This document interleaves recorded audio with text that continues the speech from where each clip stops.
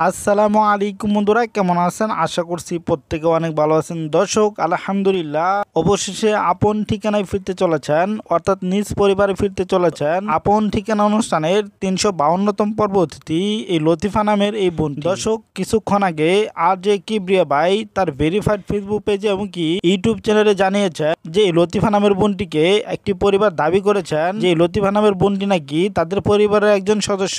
সবকিছু ঠিক থাকলে আর যে কিবরিয়া ভাইয়ের আপন ঠিকানা ইউটিউব চ্যানেলে তার আপডেট ভিডিওটি আপনারা খুব শীঘ্রই দেখতে পারবেন। মহান আল্লাহ তালা যেন এই লতিফা নামের বোনটিকে তার পরিবারের কাছে ফিরিয়ে দেন। দর্শক, আপনারা লতিফার বেশি ভিডিওতে শুনতে পেয়েছেন, এই লতিফা নামের বোনটির মাকে তার বাবা মারা যাওয়ার পর তার চাচারা তাদেরকে বাড়ি থেকে বের করে দিয়েছেন তার চাচারা। হ্যাঁ দর্শক, এই কষ্ট ভুলে গিয়ে যেন আপন সুখে তার পরিবারের কাছে ফিরতে পারে এই লতিফা নামের এই বোনটি।